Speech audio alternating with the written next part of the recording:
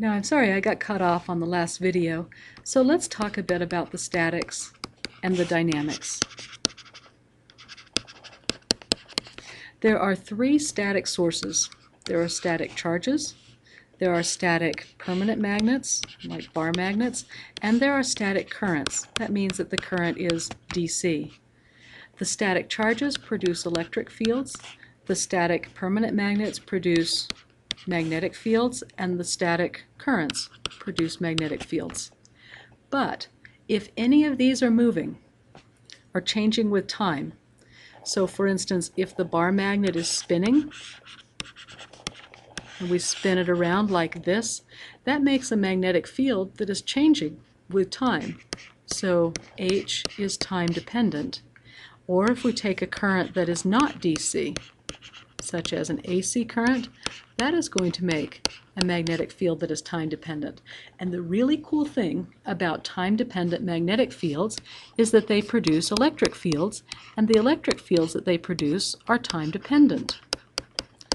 And the really cool thing that happens when you have time-dependent electric fields is that they produce time-dependent magnetic fields. So a time-varying electric field produces a time-varying magnetic field, which produces another time-varying electric field, and so on. Here is an example of when that becomes very, very interesting. Let's take your cell phone, and let's use the old kind of cell phone where the antenna sticks up like this. The current that we send up the electric field, as that we send up the antenna, produces a magnetic field that's going around it in a circle like this. So there's our magnetic field that's produced by the current.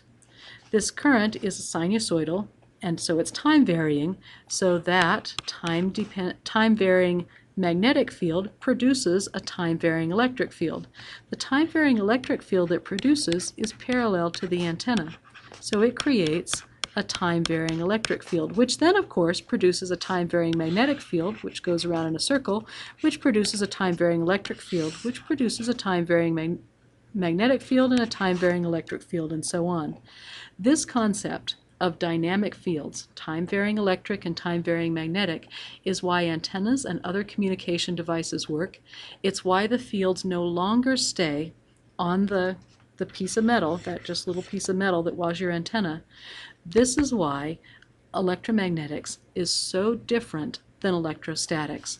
It's when the electric and magnetic fields become coupled, we call them coupled, when they produce each other, and it creates all of the unique effects that we're going to see in electromagnetics.